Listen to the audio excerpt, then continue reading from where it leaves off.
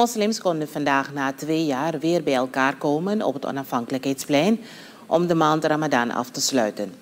Idul Fitr of het suikerfeest wordt wereldwijd gevierd, zo ook in Suriname.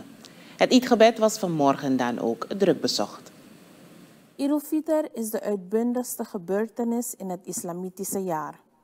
Na 30 dagen overdag niet te hebben gegeten, gedronken, gerookt of gevreden, wordt de traditionele Ramadan of vaste maand afgesloten. Het Eidgebed was dit jaar in handen van de Stichting der Islamitische Gemeenten in Suriname, de SIS.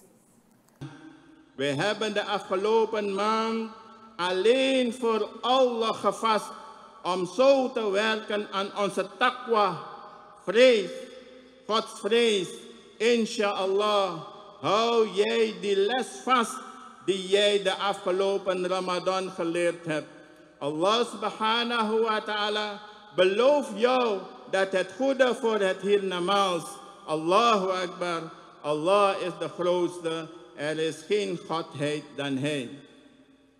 O moslim, dank Allah subhanahu wa ta'ala voor deze dag. Dank Hem voor dit feest.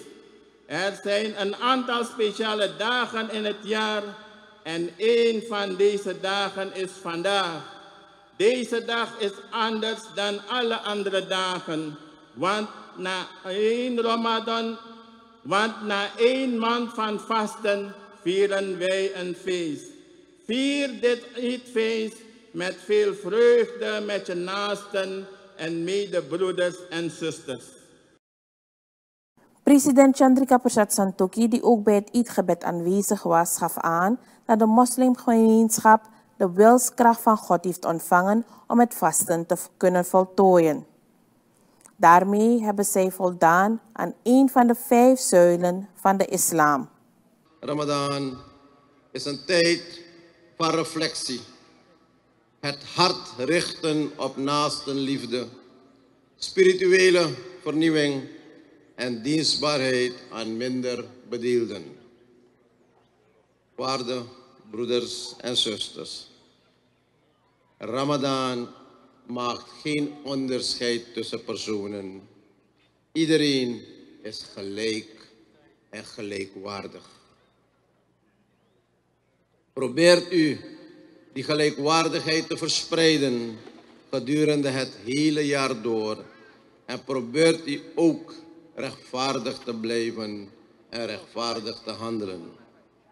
Laten we het hele jaar door vasthouden aan de geest van Idul Fitr om onze gemeenschappelijke doelen van naaste liefde, vrede, welvaart en stabiliteit te bereiken. Volgens het comité Viering Idul Fitr is het voor het eerst dat het onafhankelijkheidsplein zo druk bezocht was tijdens het Eidgebed. Na het gebed is een ieder naar zijn respectievelijke moskee vertrokken voor de voortzetting van Idul Fitr.